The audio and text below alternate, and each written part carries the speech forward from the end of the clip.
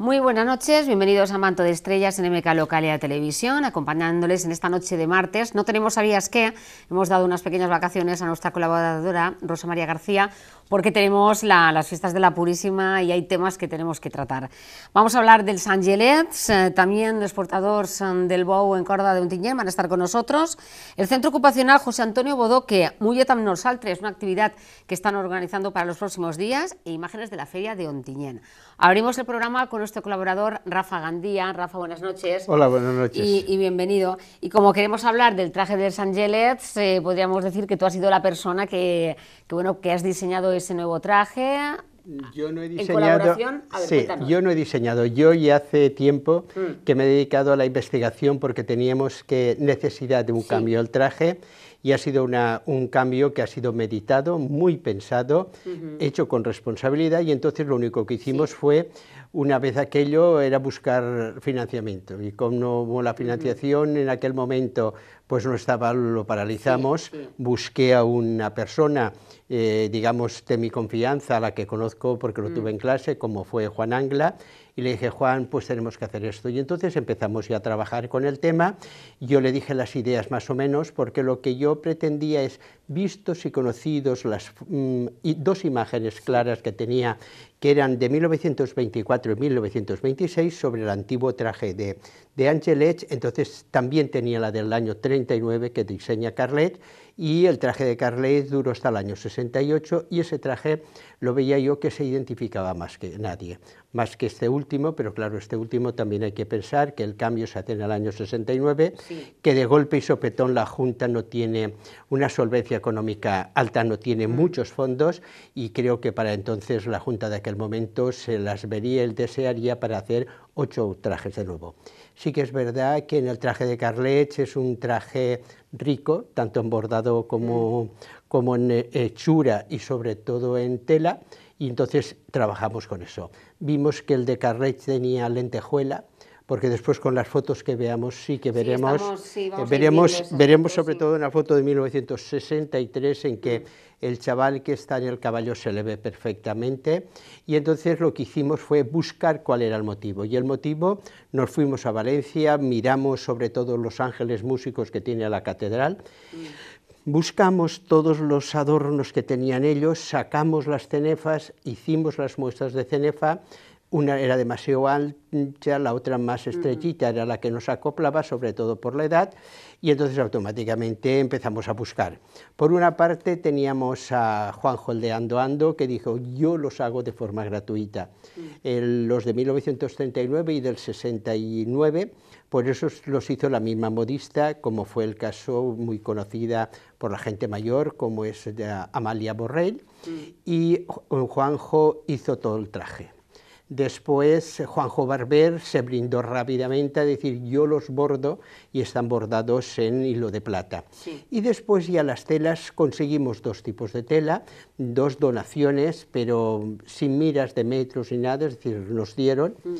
Y nos acoplamos a la tela, teníamos una dada por Ricardo Martínez y otra dada por Gonzalo, la empresa Gonzalo Ferri.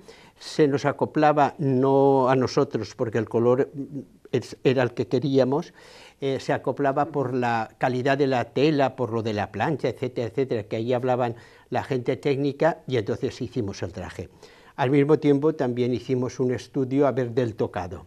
Miramos que el tocado del anterior al año de guerras, al año 35, pues tenía pluma, tenía plumitas, después vinieron las flores, un ramo de flores prácticamente llevábamos a la cabeza, hecho por una monja carmelita, María Calafás Enguís, que esa señora tenía una habilidad, según nos cuenta la priora mm. actual, muy buena, además con mucho gusto, pero después cuando entraron las niñas en el año 69 volvieron otra vez a la pluma. La pluma aquella era muy larga, me imagino que tendría algún problema, y después se cambió por una pluma más pequeña y muy poblada. Después entraron la, una, una diadema bueno, más que una diadema, era un aplique al dibujo que tenía más o menos eh, la hechura del traje, porque eh, veía, se conoce que la persona que tenía algo, una relación con los años 20, y lo que hicimos fue mirar después, la pluma continuaba, las flores, y al final nos quedamos con pluma. Tal vez la gran novedad ha sido volver otra vez al celeste de la capilla, porque es el color propio de Purísima, volver otra vez a la hechura de Carlet, eh, que es un traje que nos eh, identifica y que este que digamos hasta ahora se ha llevado tenía la misma hechura, el bordado de plata y sobre todo las botas. Les hemos colocado botas, que las botas fueron incorporadas al traje Angelet en el año 1946 por el entonces administrador que fue don Antonio Vidal, pero su señora doña Pilar, pues nada, se le hicieron en Valencia, eh, costaron mucho, ¿eh? 1.700 pesetas de aquella época, cada par. La señora, desde luego, fue un gran zapatero artesano. Es un señor que, al estudio que he hecho yo sobre el currículum de este señor, es una eh, medalla de oro de la exposición Bruselas 1891. Tiene varios diplomas de, de, oro, entre ellos, por ejemplo, Valencia 1909, la exposición nacional de 1910, es decir, nada, fenomenal. Entonces, eh, em, Angla se dedicó a todo el diseño, desde botas, bordados, etcétera. El brindis ese que nunca agradeceremos, el que esas cuatro entidades, Juan Juan Doando, Juan Barber con Bordados Barber, en el caso de Gonzalo Ferri y Juan Angla, pues que hayan trabajado en tener un traje de estos.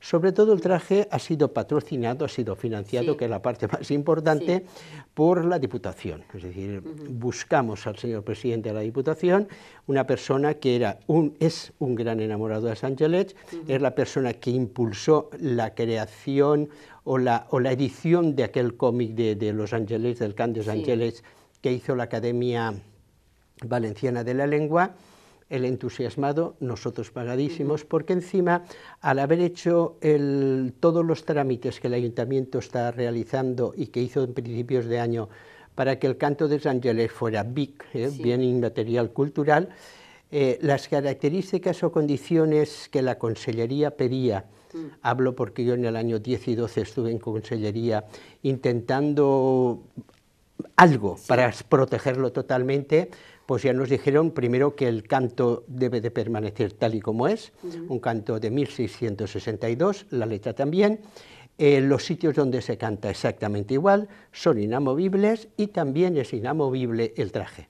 Entonces, ante eso, el tener que este año es el cuarto centenario de la primera imagen de la Purísima, pues digamos que ha sido el marco perfecto para la salida. Ahora, una vez ya el traje en la calle, pues opiniones hay, muchísimas. Mm. Yo agradezco muchísimo los ánimos, las felicitaciones, que han sido muchísimas más, esas que a lo mejor a la gente que no le ha gustado.